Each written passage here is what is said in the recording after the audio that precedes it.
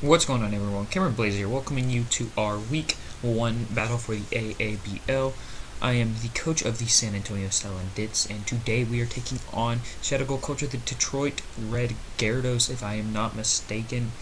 Um, it's our week one matchup. Uh, he brings basically everything I thought he would. Um, Aerodactyl is just meh. I didn't really expect it, but it kind of happens. Um, I didn't have a team prep this week because if you can't tell, this video is like a week late.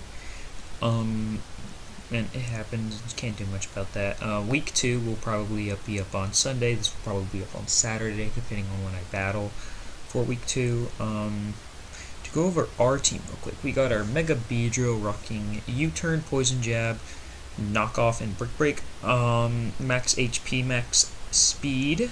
I didn't really need to speed creep this week um, as I just wanted to play it safe. I didn't want to have him throw a random Scarfer and then outspeed me. Um, that would have been pretty, pretty bad if something stupid like that would have happened. Um, secondly, we have our... Um, hold on, let me find the team.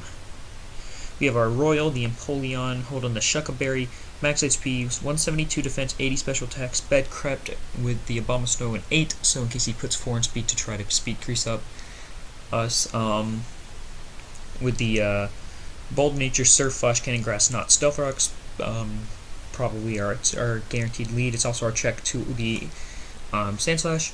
We have his Tapu, our Tapu Koko, the chicken with the Life Orb, um, Thunderbolt, Dazzling Gleam, Grass Knot, HP Water, hits relatively everything super effectively.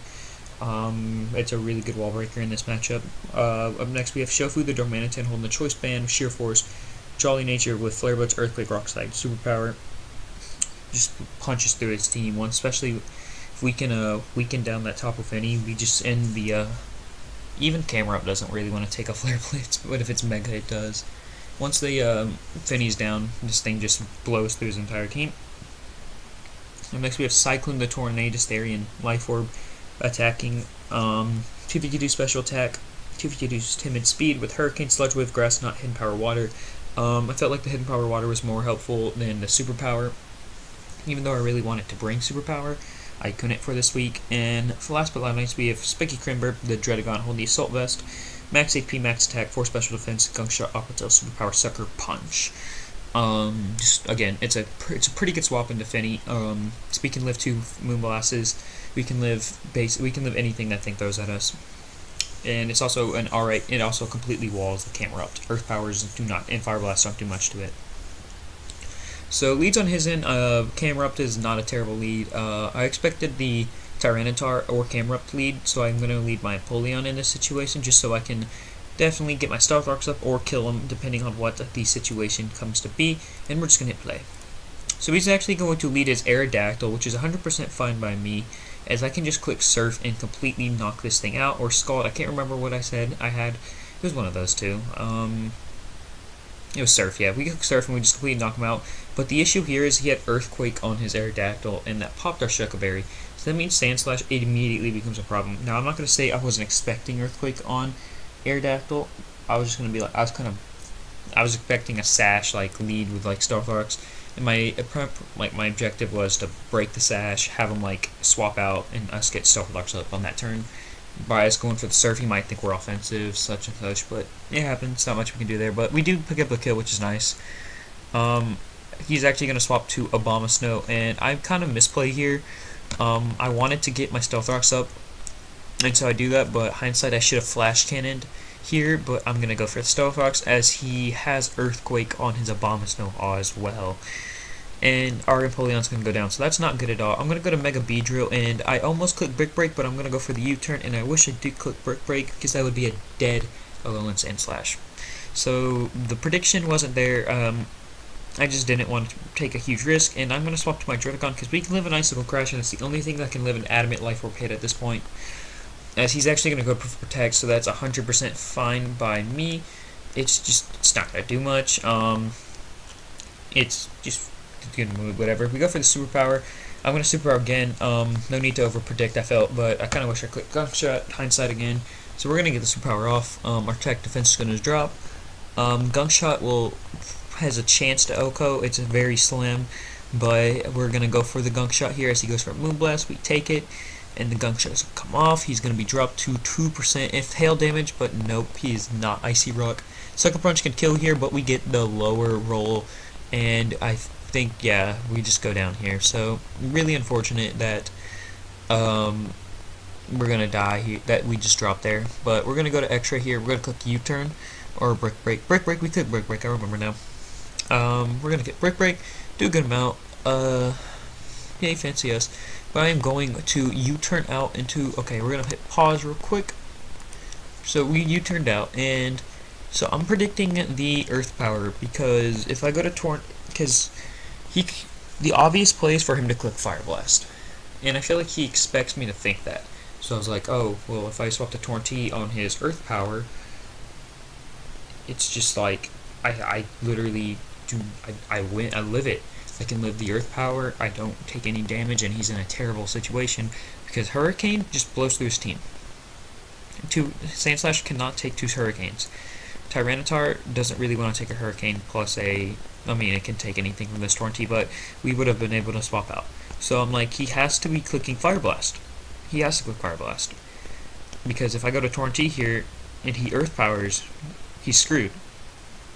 It's a 50-50 in my mind, and I felt like it was more like he's gonna click Earth. He, I felt like he was gonna click Fire Blast, predicting my Torrent. That's like that's what I said. He's gonna click Fire Blast, predicting Torrent, or the the Tapu Koko. So I'm gonna go to our Darmanitan so we can live the Fire Blast. But he does, in fact, click the Earth Power, and we lose our Wall Breaker. Kind of sucks, but don't know. So I'm gonna go to our Tapu Koko and HP water, kill this thing. We get a crit, does not matter. We get, um, yeah, we take a little life orb hit. So he's going to go to his Abomasnow. I'm going to click Dazzling Gleam, and it's going to do a good amount, 41%. And he is going to click Earthquake, and that I'm pretty sure mattered. I do not think he could have killed us at that range. And then he shows us leftovers, not Assault Vest, so it happens. So I can go to Beedrill here. Torrent was probably the better spot because of the Ice Shard, but I don't think it would have done much. Brick Break's going to come off and pick up the kill. It hits everything for super effective damage as Fini dies on entry. Um, but he goes to Sandslash here. He's at 47%. He's going to click. It's, that was a very risky play right there. If he would have missed that, we could have we would have won. 100% we would have won. But we go to Cyclone here. We take the Icicle Crash because I learned he's not adamant right then and there, which kind of makes me upset. Hurricane does connect and it does kill him, but we drop to life orb damage. So we do end up losing week 1 2-0 to Shadowghoul. Good prep on him. Uh, go check him out. It was a very good uh, battle in my opinion. Um, we could have easily won that if we didn't like place dumb with the Darmanitan. Um, if we just like there were some pivotal rolls in that crit on the Koko because we had one more hit with Koko, and I understand that he had Ice Shard, and it's just. Uh, it just kind of like uh, Koko. I because I said he had Ice Shard, and that's why I went to Beedrill. And again, looking back, I should have gone to Torrent because Ice Shard wouldn't have done much to me. And that's why I went to Beedrill because the Ice Shard wouldn't have done super effective damage. We get the guaranteed kill, yada yada yada. But not much we can do. We lose 1-0. Uh, we lose week one, 2-0 not the worst situation we could have been in, not the best either, but it all happens. Um, thank you guys for watching. If you enjoyed, please hit that like button down below. And let me know, uh, question of the day, what is your favorite weather? Um, mine is personally sand, as the hail brings us down this week, but it happens. Um, new stuff, didn't know how good the I knew this Alolan Sand was good, that's why in my team prep I was like, well, I have to bring Napoleon, and it Empoleon had a just big... It had to wall like two things. Druddigon had to wall two things. I didn't have enough bulk this week, and I just thought the offense was good, and bites us in the butt. But like I said, hope you guys enjoyed. Hit that like button, and I'm going to see you guys next time. Bye!